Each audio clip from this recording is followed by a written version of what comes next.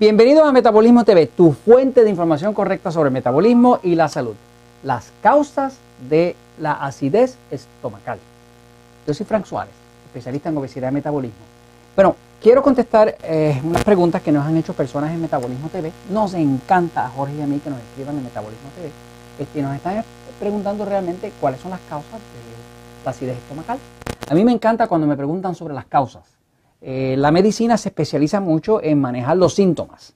A mí me encanta la idea de manejar las causas, porque cuando uno maneja un problema de raíz, pues entonces no existen los síntomas.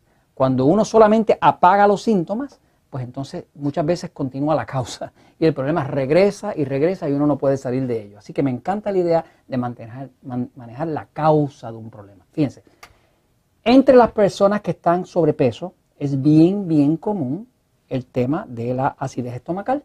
Entre los diabéticos, que también el 90% de ellos están sobrepeso, pues el problema de la acidez estomacal es bien común. De hecho, una de las industrias más grandes que existe es la industria de la farmacéutica de vender antiácidos. O sea, que gran cantidad de gente en muchos países, en Puerto Rico es una epidemia, casi todas las personas que nos llegan a nosotros a las clínicas Natural Slim nos llegan con problemas de alta presión y de acidez estomacal. Eh, alta presión, altos triglicéridos, alto, colesterol y sobre todo acidez estomacal. Acá hay unos medicamentos que se llaman Protonix y unas cosas así que nosotros sabemos que si la persona no puede reducir ese tipo de medicamento no va a poder adelgazar bien. Por lo tanto, nosotros ya hemos aprendido a manejar de la causa de la acidez estomacal. Voy a, discutir con ustedes brevemente qué es lo que causa la, la acidez estomacal. De hecho, no hay ninguna razón, y oígame bien lo que le estoy diciendo, no existe ninguna razón para que una persona tenga acidez estomacal. usted le va a parecer inverosímil que yo estoy diciendo esto, porque yo no soy médico, yo no soy nutricionista, pero yo le puedo decir que hemos trabajado en Natural Slim con más de 45 mil personas. Entre todas las personas que nos han llegado, nos habrán llegado quizás unas 20 mil con acidez estomacal, todo se les fue. O sea, no hubo ni un solo caso de una persona que llegara a un Natural Slim a recibir servicios de nosotros, de aprender sobre el metabolismo, de adelgazar, que no se le fuera totalmente y de forma permanente la acidez.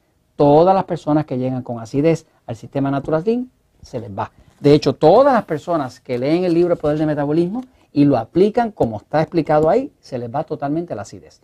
La acidez es uno de esos problemas que existe simple y sencillamente por falta de conocimiento. Si usted tiene el conocimiento cómo resolverlo, pues no va a tener el problema. Voy a la pizarra un momentito, fíjense.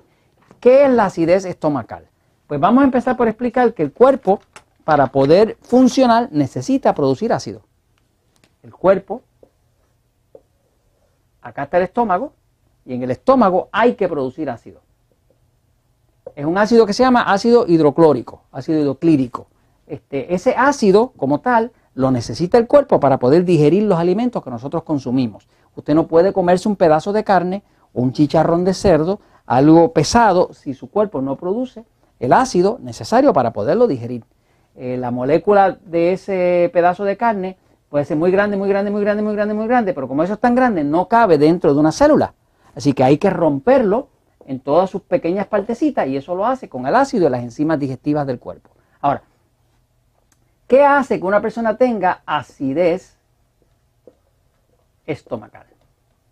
¿Qué hace que una persona se vea obligada a estar tomando constantemente antiácidos, que mantiene a la industria farmacéutica ganándose una cantidad increíble de plata, de dinero, con el problema de la acidez estomacal. Pues solamente la falta de conocimiento de qué es lo que causa la acidez estomacal. La acidez estomacal no tiene nada más que dos causas.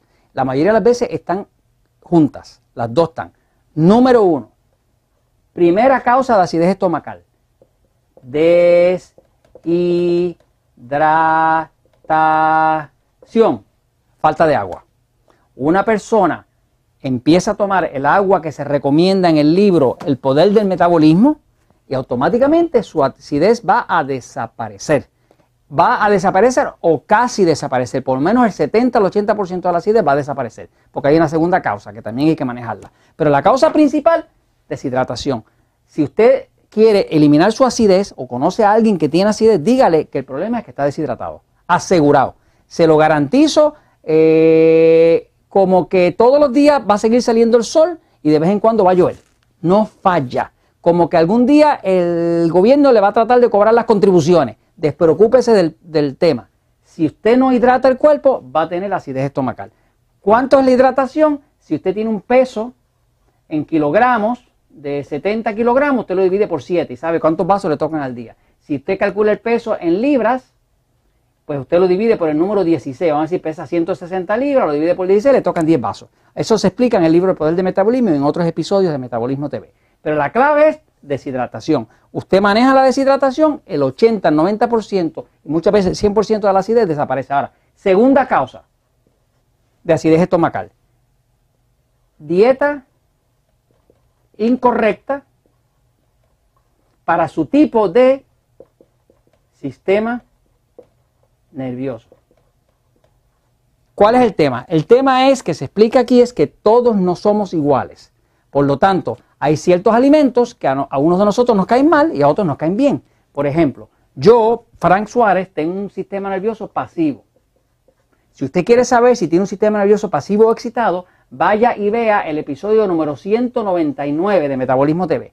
Búsquelo 199, ahí están las cinco preguntas. Si contesta, aunque sea a una de ellas sí, significa que su sistema nervioso es excitado. Si contesta a las cinco preguntas que no, como yo contesto, su sistema nervioso es pasivo. El que tiene un sistema nervioso pasivo, pues tiene la habilidad de comer cualquier cosa, porque su cuerpo tiene un sistema digestivo fuerte, produce mucho ácido y, digiere todo. Digieren, nosotros los pasivos digerimos hasta piedra.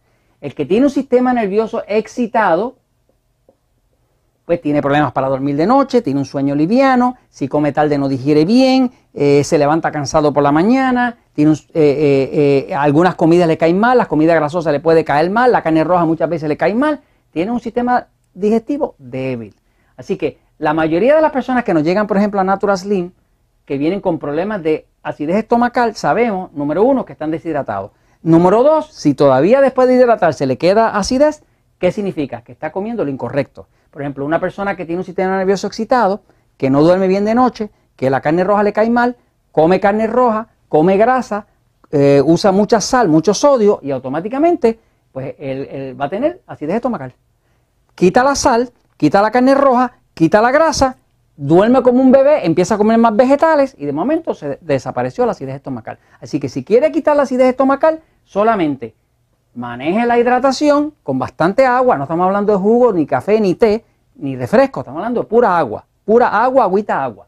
Y dos, averigüe cuál es tu tipo de sistema nervioso en el episodio número 199, maneja esas dos y voilà, como dicen en Francia, se fue la acidez estomacal y se le cayó el negocito a la farmacéutica. Y esto lo comparto con ustedes porque la verdad siempre triunfa.